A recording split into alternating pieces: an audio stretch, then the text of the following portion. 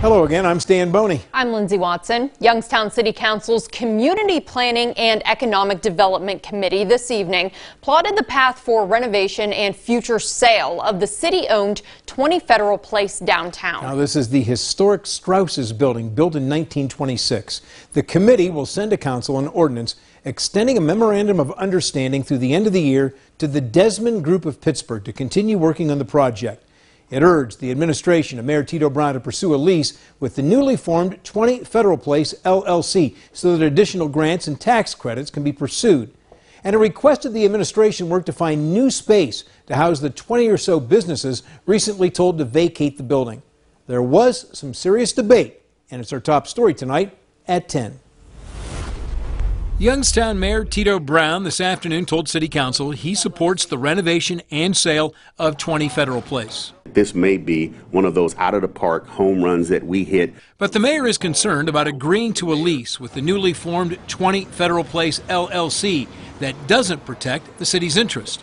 I have public funds that's been allocated to the city of Youngstown, and as mayor, my job is to make sure legally that we have an out clause that works for us Another issue the lease, by law, must be for at least 39 years. Because the city owns the property, you have to have a long term lease to be able to qualify for the tax credit. Jim Ambrose represented Pittsburgh's Desmond Group and the newly formed 20 Federal Place LLC, the latter of which was needed to pursue the tax credits and grants. We are completely open and amenable to whatever terms the city of Youngstown would want. We just have to know what those are. Assistant Law Director Lou D'Appolito agreed. We're thrilled to meet with Mr. Ambrose and their team. Let's sit down and let's see what we can work out.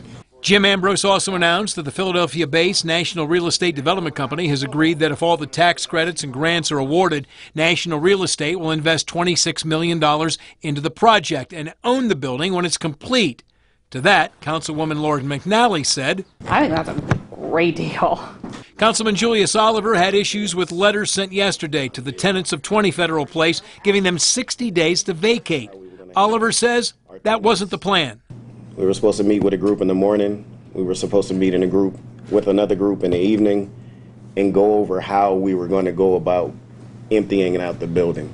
Finance Director Kyle Miasek says when Youngstown was awarded a $6.9 million state brownfield grant, it put the city on a strict timetable to spend the money.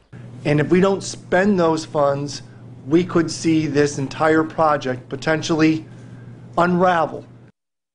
Now, Kyle Miasek did add that the city administration does understand the plight of the businesses that needed to vacate 20 Federal Place, and the administration will do its best to get them relocated